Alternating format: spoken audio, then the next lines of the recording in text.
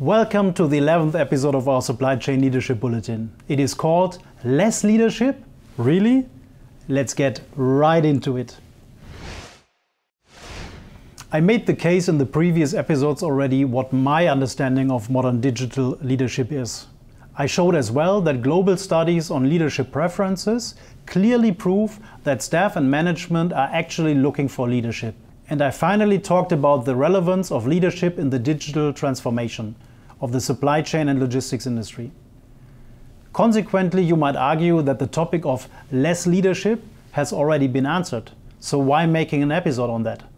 Simply because I experienced situations where senior levels used the latest leadership theories and philosophies, summarized under new work, as justification to pull themselves out of their responsibility for leadership.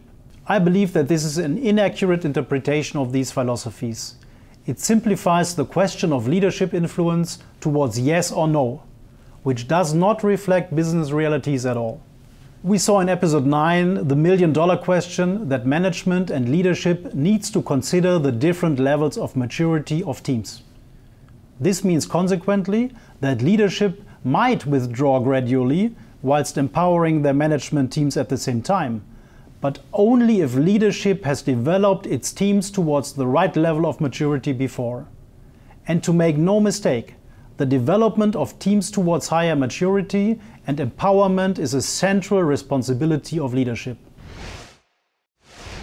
So here's my take on less leadership, really. All these new leadership philosophies and techniques do not argue for less leadership, they argue for less management against micromanagement and for more leadership in the modern form of it, organizing teams, inspiring and directing the efforts towards concrete goals. So it is actually more leadership than ever instead of less, but more leadership in its true sense and modern interpretation. In the 12th episode of our Supply Chain Leadership Bulletin, I will analyze if the supply chain and logistics industry is in a catch-22 situation whilst transforming and how to overcome that. But more about that next time.